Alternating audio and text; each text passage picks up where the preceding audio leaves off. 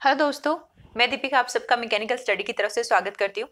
अपन physics के topic कर रहे थे, जिनमें अपना नेक्स्ट टॉपिक रहेगा। द्रव्य के या पदार्थ के सामान्य गुण प्रॉपर्टीज़ ऑफ़ मैटर जैसा कि आपका ऑफिशियल नोटिफिकेशन आ चुका है, आपको पता है आपके सीबीटी वन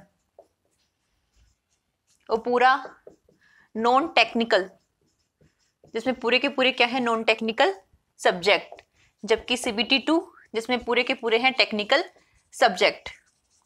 तो मेरी आप सबके लिए एक एडवाइस है कि अभी सिर्फ़ आप सीबीटी वन पर फोकस करें, क्योंकि सीबीटी वन होगा आपका शायद अप्रैल और मई में। तो आपके पास सफिशिएंट टाइम है इसकी प्रिपरेशन करने के लिए। सीबीटी टू सीबीटी वन का रिज़ल्ट डिक्लेयर होगा, उसके बाद सीबीटी टू का एग्ज़ाम होगा और आपको इस ड्यूरेशन में सफिशिएंट टाइम मिल जाएगा कि आप सीबीटी टू के लिए खुद को प्रिपेयर कर सके। तो मेरा फ़िलहाल यही कहना है। कि खुद को प्रिपेयर करो सीबीटी वन के लिए। तो हम थोड़ा सा सीबीटी वन के लिए थोड़ा सा डिस्कस कर लेते हैं। जैसा कि आपको पता है सीबीटी वन में एक रहेगा टॉपिक मैथ्स वाला, यानी मैथ्स वाला पार्ट रहेगा एक। एक रहेगा रीजनिंग वाला पार्ट एक रहेगी जनरल साइंस एक रहेगा जनरल अवेयरनेस हम बात करते हैं सिर्फ़ यहाँ पर जनरल साइंस की। यहाँ पर टोटल जो क्वेश्चन आएँगे, वो आएँगे हंड्रेड क्वेश्चन ठीक है? जनरल साइंस के होंगे तीस हंड्रेड क्वेश्चन आएँगे नाइन्टी मिनट में आपको अटेम्प्ट करने हैं। यानी कि वन एंड हाफ़ आवर में आपको हंड्रेड क्वेश्चन अटेम्प्ट करने जिसमें जनरल साइंस के होंगे thirty twenty five reasoning thirty यहाँ पे मैथ्स वाले पोर्शन से आएँगे। ठीक है? जनरल अवेयरनेस के आएँगे फिफ्टी क्वेश्चन तो ये आपके टोटल हो जाते हैं कितने? कितने क्वेश्चन हो जाते हैं? टोटल हो गए twenty five fifteen forty seventy thirty hundred hundred question आए आपके नाइन्टी मिनट में वन एंड हाफ़ आवर में. फिर अपन बात करते हैं फ़िलहाल जनरल साइंस की. यहाँ पर क्या है, आपकी स्पीड बहुत मैटर करेगी. स्पीड के साथ आपको यहाँ ध्यान रखना होगा कि यहाँ क्वेश्चन बहुत ही इजी आने वाले हैं, क्योंकि आपके ऑनलाइन एग्ज़ाम होगा. तो आपको ध्यान रखना है सबसे पहले थर्टी क्वेश्चन और फिफ्टीन क्वेश्चन बिल्कुल भी टाइम कंज्यूमिंग नहीं होंगे, क्योंकि ये थ्योरी वाले क्वेश्चन है. आपको देखना है ऑप्शन टिक करना है. इनमें क्या है आपको? इन 55 क्वेश्चन के लिए आपको अपनी स्पीड को मेंटेन करना होगा। यहाँ पे आपको थ्योरी अच्छे से कवर करनी है। यहाँ पे आपको अपने टॉपिक वाइज अपनी स्पीड को बढ़ाना होगा। जितने हो सके यहाँ पर आपको क्वेश्चन प्रैक्टिस करनी होगी। अपन सबसे पहले जनरल साइंस वाला पोर्शन कवर करेंगे। उसके बाद जनरल अवेयरनेस अपनी चलती रहेगी। साथ में इंपॉर्टेंट टॉपिक करंट वाले सारे चलते रहेंगे। जनरल साइंस के बाद अपन साथ साथ में शुरू कर लेंगे। मैथ या रीजनिंग में से टॉपिक वाइज डिस्कस करेंगे। और आपको उनकी प्रैक्टिस करनी है ज़्यादा से ज़्यादा। जनरल साइंस का इन्होंने लेवल बोला है, टेंथ क्लास तक का लेवल रहेगा इसका। वहीं से इसके क्वेश्चन पूछे जाएँगे। तो आप रेगुलर हो जाओ जनरल साइंस के लिए कि रोज इसके टॉपिक पढ़ो, क्योंकि ये थर्टी क्वेश्चन जो है ना, अगर आपने यहाँ पर थर्टी क्वेश्चन, यहाँ पर थर्टी में से ट्वेंटी फाइव क्वेश्चन अगर आपने यहाँ पे करेक्ट कर लिए तो आप बाकियों से काफ़ी डिफरेंस क्रिएट कर जाओगे। क्योंकि रीजनिंग और मैथ में भी बच्चे स्पीड मेंटेन करनी पड़ेगी। यहाँ पर आपका बेसिक नॉलेज चेक किया जाएगा। तो आपको हम आप जनरल साइंस में आगे बढ़ते हैं। हमने फिजिक्स से शुरुआत कर रखी है और डेफिनेटली एग्ज़ाम से पहले हम आपको सिलेबस पूरा करवा देंगे। पिछले कुछ दिन में वीडियो अपलोड नहीं हो पाए उसके लिए सॉरी क्योंकि थोड़ा सा बिज़ी शेड्यूल था, इसलिए थोड़ा डिले हो गया। बट अब अब हम रेगुलर रहेंगे टॉपिक वाइज अपना सिलेबस कवर करेंगे। और जनरल साइंस से बात करते हैं। और मेरी आपको यही कहना है कि जिन बच्चों को रिक्वायर्ड है कि हाँ हमें कोचिंग करनी है, वो कोचिंग ज्वाइन कर सकते हैं। जिनको लगता है, क्योंकि कोचिंग का डिसीज़न क्या होता है? सेल्फ का होता है। जिनको लगता है हम सेल्फ प्रिपरेशन कर सकते हैं, वो डेफिनेटली कर सकते हैं। और जिनको लगता है हमें कोचिंग की रिक्वायरमेंट है, वो कोचिंग ज्वाइन कर सकते हैं। तो ये डिसीज़न हमेशा सेल्फ का ही होता है कि आपका सेल्फ स्टेमिना कितना है बैठे रहने का। तो वो बात है। अब हम जनरल साइंस में फिजिक्स की शुरुआत कर चुके थे पहले फिजिक्स में नेक्स्ट टॉपिक है अपना प्रॉपर्टीज़ ऑफ़ मैटर द्रव्य के सामान्य गुण। सबसे पहले हम डिस्कस कर लेते हैं फ़ेज़ यानी कि अवस्था। कि मैटर यानी कि पदार्थ की कितनी अवस्थाएँ हैं। ठीक है? सबसे पहले हम देखते हैं यहाँ पर कि मैटर यानी पदार्थ की कितनी अवस्थाएँ हैं। फ़र्स्ट फ़ेज़ सॉलिड यानी कि ठोस। सेकंड फ़ेज़ यानी कि लिक्विड यानी कि गैस। थर्ड फ़ेज़ यानी कि सॉरी लिक्विड यानी कि द्रव। थर्ड फ़ेज़ है गैस और जो फोर्थ फ़ेज़ है, चौथी अवस्था है, वो कौन सी बताई गई है? प्लाज्मा जिसमें क्या होती है? आयनीकृत गैसेस होती हैं।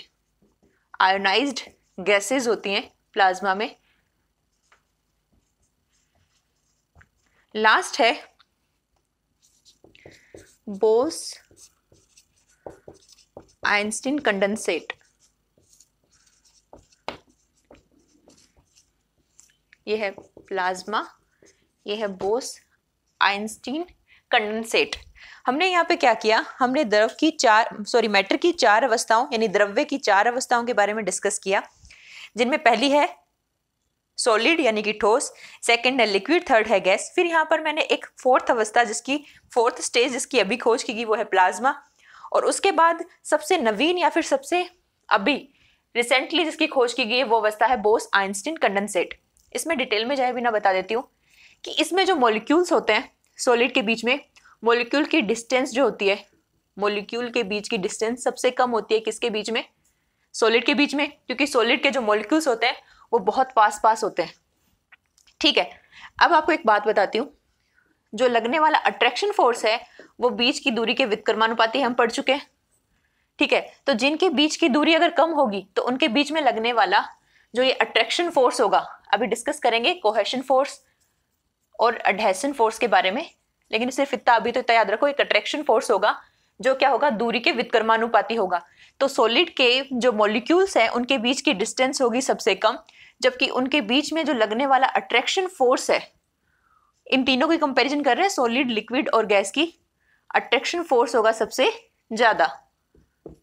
गैसेस के मॉलिक्यूल के बीच की जो डिस्टेंस है, वो होगी सबसे ज़्यादा। ये आपको पता है।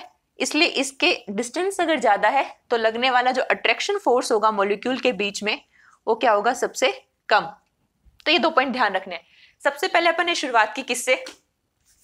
शुरुआत की सबसे पहले हमने फ़ेज़ डिस्कस की सॉलिड लिक्विड और गैस फोर्थ स्टेट मैंने बताई प्लाज्मा नेक्स्ट है बोस आइंस्टीन कंडेंसेट सॉलिड में लगने वाला जो अट्रैक्शन फोर्स है वो सबसे ज़्यादा होगा. क्यों? क्योंकि वहाँ पर मोलिक्यूल के बीच की जो डिस्टेंस है वो सबसे कम है.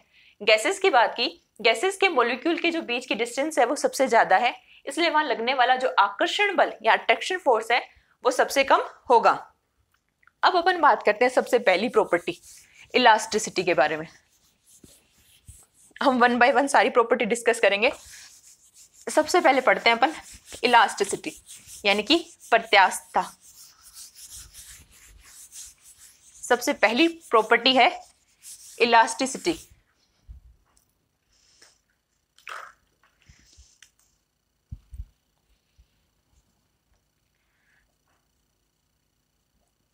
इलास्टिसिटी यानी कि प्रत्यास्था। इसको समझने के लिए हम एक एग्ज़ाम्पल लेते हैं और उससे इसको समझने की कोशिश करते हैं। हमने एक ऑब्जेक्ट लिया। ये एक ऑब्जेक्ट या एक वस्तु है, जिसकी, ये है इसकी लेंथ यानी कि लंबाई, ये है इसका, इसकी परपेंडिकुलर डायमेंशन यानी डायमीटर या फिर कुछ भी यहाँ पे होगी विड्थ होगी, जो भी वो डी मैंने लेटरल और लॉन्गिट्यूडनल ठीक है, दोनों मैंने यहाँ पे डायमेंशन मान ली एक ऑब्जेक्ट है, जिसकी विड्थ है मान लो डी जिसकी लंबाई है या लेंथ है एल अब हम इस पे लगाते हैं एक फोर्स ठीक है? स्टेटमेंट ये है इलास्टिसिटी का, जब किसी वस्तु पर हम बल लगाते हैं, ठीक है? प्रत्यास्था या इलास्टिसिटी का स्टेटमेंट है, जब किसी वस्तु पर या ऑब्जेक्ट पर एक्सटर्नल फोर्स अप्लाई किया जाता है, बाह्य बल लगाया जाता है तो उस स्थिति में उस ऑब्जेक्ट की लेंथ वॉल्यूम या शेप क्या बोला मैंने? लेंथ या डायमेंशन जो भी डायमेंशन हैं, वो लेंथ इसके वॉल्यूम और इसकी शेप में क्या आ जाते हैं? चेंजेस आ जाते हैं, परिवर्तन आ जाते हैं।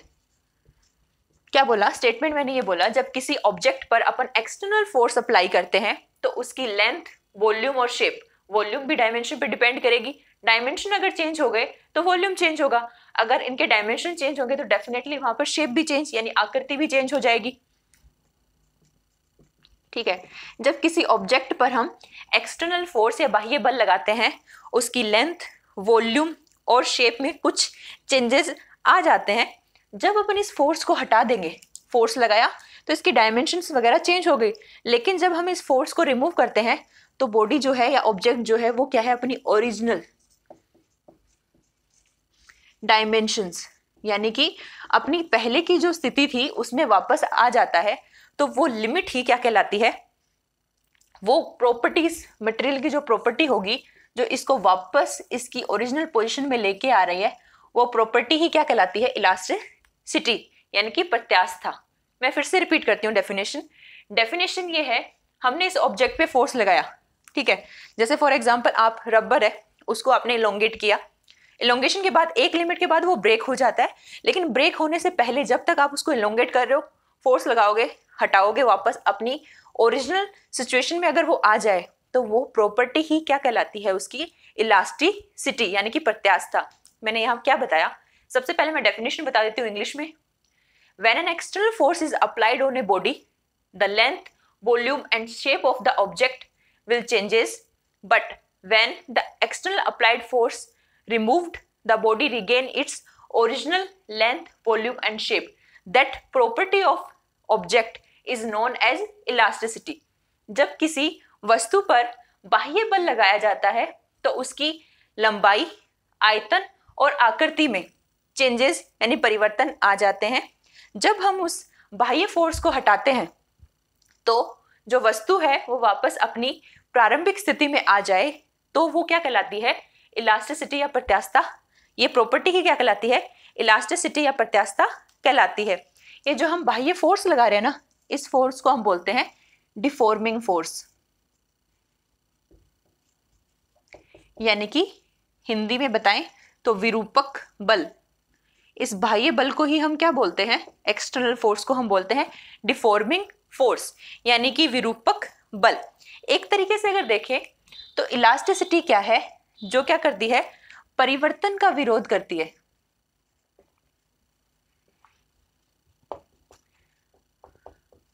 या फिर इसको बोल सकते हैं रेजिस्टेंस टू चेंजेस एक तरीके से जो इलास्टिसिटी है, वो सोलिड की प्रॉपर्टी है। किसकी है? इलास्टिसिटी सोलिड की प्रॉपर्टी है। ये भी ध्यान रखना है। सेकेंड चीज़, क्या है? ये परिवर्तन का विरोध करते हैं। मतलब चेंजेस का अपोज करती है इलास्टिसिटी प्रॉपर्टी क्योंकि उसमें डिफॉर्मेशन को रेजिस्टेंस प्रोवाइड कराती है कौन? प्रत्यास्था यानी कि इलास्टिसिटी अगर क्या है? एक लिमिट तक फॉर एग्ज़ाम्पल हम रबर के एग्ज़ाम्पल से ही समझते हैं। एक लिमिट तक जब हम उस पर फोर्स या बाह्य फोर्स बाह्य बल या एक्सटर्नल फोर्स अप्लाई करते हैं तो हमने एक लिमिट तक फोर्स को बढ़ाते जा रहे हैं। पहले कम फोर्स लगाया, फिर छोड़ दिया। फिर धीरे धीरे हम उसको बढ़ाते ही जा रहे हैं उस फोर्स की वैल्यू को। तो क्या होता है, एक लिमिट तक वो वापस अपनी ओरिजिनल शेप में आ जाती है। और एक लिमिट के बाद उसमें क्या होता है, उसकी आकृति में वापस ओरिजिनल कंडीशन नहीं आ पाती, उसमें कुछ डिफॉर्मेशन आ जाता है। विरूपण आ जाता है तो जिस लिमिट तक वो अपनी ओरिजिनल शेप में वापस आ पाती है, वो लिमिट क्या कहलाती है? वो लिमिट कहलाती है इलास्टिक लिमिट। यानी कि प्रत्यास्थता सीमा। एग्ज़ाम में अगर क्वेश्चन आए कि इलास्टिक लिमिट क्या है तो इलास्टिक लिमिट वो सीमा है, बल्कि जिस लिमिट तक अगर हम फोर्स लगाते हैं और फोर्स हटाते हैं तो बॉडी अपनी ओरिजिनल ऑब्जेक्ट अपनी ओरिजिनल सिचुएशन में वापस आ जाए। वो लिमिट ही क्या कहलाती है? इलास्टिक लिमिट मतलब इलास्टिक लिमिट के अंदर बॉडी के अंदर कोई डिफॉर्मेशन या विरूपण नहीं होता है। इस लिमिट के बाहर अगर अपन फोर्स लगाते हैं, इस लिमिट के बाहर तो बॉडी के अंदर क्या आ जाता है? आकृति बदल जाती है इसकी। शेप में चेंजेस आ जाते हैं। लेंथ में चेंज आ जाएँगे वॉल्यूम में चेंज आ जाएँगे। तो उसको अपन क्या बोलते हैं? उसको बोलते हैं अपन विरूपण, यानी कि डिफॉर्मेशन तो बॉडी में या ऑब्जेक्ट में क्या आ जाएगा? डिफॉर्मेशन ठीक है। सबसे पहले हमने यहाँ शुरुआत की इलास्टिसिटी से। ठीक है। इलास्टिक लिमिट की मैं फिर से डेफिनेशन बता देती हूँ कि जब हमने डिफॉर्मेशन जो डिफॉर्मिंग फोर्स अप्लाई किया है, उसके मैग्नीट्यूड यानी परिमाण की वह सीमा या वह लिमिट जब तक अगर हम फोर्स लगाएँ और हटाएँ तो बॉडी अपनी ओरिजिनल शेप को रिगेन कर ले। इलास्टिक लिमिट के बाद अगर आप फोर्स अप्लाई करते हो, जैसे मान लो इलास्टिक लिमिट तक मान लो फोर्स है एट न्यूटन ठीक है? एट न्यूटन तक आपने कितने भी फोर्स अप्लाई किए ना seven newton six newton four newton तो जो ऑब्जेक्ट है, वो फोर्स हटाने पर अपनी ओरिजिनल शेप में आ जाएगा। लेकिन इलास्टिक लिमिट के बाहर अगर आप फोर्स अप्लाई करते हो तो फोर्स हटाने पर उसमें कुछ डिफॉर्मेशन यानी विरूपण रह जाएगा परमानेंटली वो रिमूव नहीं होगा तो वो है इलास्टिक लिमिट इससे बाहर फोर्स अप्लाई करने पर बॉडी में डिफॉर्मेशन आ जाता है, जिसको बोलते हैं विरूपण या फिर डिफॉर्मेशन कहा गया। ठीक है नेक्स्ट इसी में आगे एक डेफिनेशन यहीं से अपन पढ़ते हैं, किसकी? स्ट्रेस और स्ट्रेन की। जो मैकेनिकल और सिविल के स्टूडेंट हैं, वो इस डेफिनेशन से काफ़ी अच्छे से वाकिफ़ हैं कि ये एक्चुअल में स्ट्रेस और स्ट्रेन होता क्या है। बट यहाँ पर क्या है? हम जो ये जनरल साइंस पढ़ा रहे हैं, वो सभी ब्रांचेस के लिए कॉमन है। इसलिए मैं यहाँ पर इसको अच्छे से ही एक्सप्लेन करूँगी ताकि बच्चों को बाकी जो रिमेनिंग स्टूडेंट्स हैं, उनको भी ये चीज़ अच्छे से समझ में आ जाए। हम यहाँ पे बात कर रहे हैं स्ट्रेस और स्ट्रेन स्ट्रेस यानी कि प्रतिबल। इसको हिंदी में बोलते हैं स्ट्रेस को प्रतिबल स्ट्रेन को बोलते हैं विकृति। ठीक है? स्ट्रेस को बोलते हैं प्रतिबल और स्ट्रेन को बोलते हैं विकृति। ठीक है? सबसे पहले हम स्ट्रेस को देखते हैं कि स्ट्रेस क्या होती है। स्ट्रेस होता है, यहाँ पर ने फोर्स अप्लाई किया और हम मानते हैं इसका जो क्रॉस सेक्शन एरिया था ऑब्जेक्ट का, वो है ए तो जो स्ट्रेस है, वो बताता है क्या? Force applied per unit area यानी कि यूनिट एरिया पर कितना फोर्स अप्लाई किया गया है, वो कहलाता है स्ट्रेस इससे ज़्यादा डिटेल में आपको जानने की ज़रूरत नहीं है, सिर्फ़ इतना ही ध्यान रखना है। स्ट्रेस क्या बताता है? एक ऑब्जेक्ट लिया हमने, उस पर फोर्स अप्लाई किया तो उसके अंदर उसका क्रॉस सेक्शनल एरिया ए है तो पर यूनिट एरिया हमने कितना फोर्स अप्लाई किया, वही क्या है? स्ट्रेस या फिर प्रतिबल, कि इकाई क्षेत्र पर हमने कितना बल लगाया। तो स्ट्रेस की यूनिट क्या होगी? न्यूटन पर मीटर स्क्वायर, या फिर यही यूनिट प्रेशर की भी होती है। Newton per metre square unit किसकी होती है? प्रेशर की भी होती है, या फिर इसको बोल सकते हैं पास्कल। दोनों यूनिट आपको ध्यान रखनी है। स्ट्रेस को प्रतिबल, force applied per unit area, प्रति इकाई क्षेत्रफल पर कार्य करने वाले बल को ही क्या बोलते हैं? प्रतिबल या stress. Newton per metre square इसकी होगी? यूनिट। नेक्स्ट अपन बात करते हैं स्ट्रेन क्या है। ठीक है। हमने इलास्टिक लिमिट के बाहर इसमें फोर्स लगाया। ठीक है। फोर्स लगाने के बाद इसकी लेंथ में चेंज हो गया। एक ऑब्जेक्ट लिया मैंने यहाँ पे, इसको यहाँ से समझते हैं।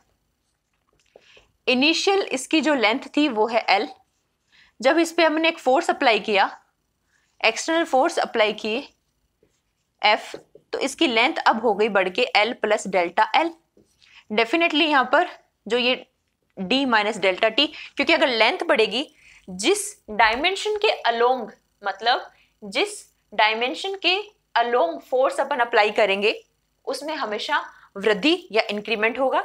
और जो लेटरल या 90 डिग्री पर जो होगी डायमेंशन उसमें डिक्रीमेंट होगा। साफ़ ही समझ में आती है ये चीज़। इस डायरेक्शन में अगर आप फोर्स अप्लाई करोगे तो ये डायमेंशन रिड्यूस होगी। ये डायमेंशन इंक्रीज करेगी। तो लेंथ बढ़ के या लंबाई बढ़ के हो जाएगी एल प्लस डेल्टा एल और जो विर्थ है वो हो जाएगी डी माइनस डेल्टा डी तो जो स्ट्रेन बताता है स्ट्रेन क्या होते हैं? दो तरीके के होते हैं। एक तो होता है लॉन्गिट्यूडिनल स्ट्रेन एक होता है लेटरल स्ट्रेन यहाँ मैं बता रही हूँ स्ट्रेन के बारे में, दो तरीके के स्ट्रेन होते हैं। एक होता है लॉन्गिट्यूडनल स्ट्रेन दूसरा होता है लेटरल स्ट्रेन सबसे पहले हम बात करते हैं किसकी? लॉन्गिट्यूडनल स्ट्रेन की, जिसको बोलते हैं अपन हिंदी में अनुदैर्ध्य विकृति। अनुदैर्ध्य विकृति। और जो लेटरल स्ट्रेन है, उसको अपन बोलते हैं लेटरल को बोलते हैं